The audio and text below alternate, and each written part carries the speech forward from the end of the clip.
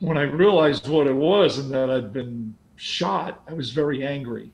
A University City man has a warning tonight after someone with a BB gun shot him during his daily jog. Our ABC 10 News reporter Michael Chen explains why the man is fearful the shooter may be just getting started.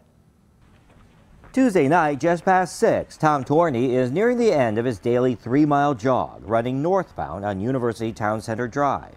Very calm, enjoying the evening.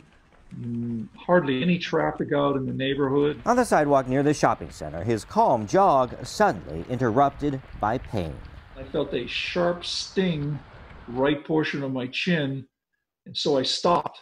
And as I was pushing on it, something round, hard came out of the skin, fell out of my fingers onto the ground. A stunned Torney, who didn't have his glasses, did not look for the apparent BB. I realized what it was and that I'd been shot, I was very angry. Torney, who was shot on the right side, believes the shot came from the shopping center area. He briefly scoured the area but didn't see anyone. Bleeding from his chin, he jogged home. He's doing fine now, but he's still upset. If the shot had been six to eight inches higher, it probably would have hit me in the eye. Torney has no clue about a motive, but he's convinced he was being targeted. because I was the only moving target really in the whole area. Torney has been interviewed by police who told him they haven't received reports of similar incidents in the area. Torney now worried about what may happen next because of the boldness of the attack. It was still light out, and while the traffic was light at the time, it remains a busy area. If the person's not caught, that he could do it to other people,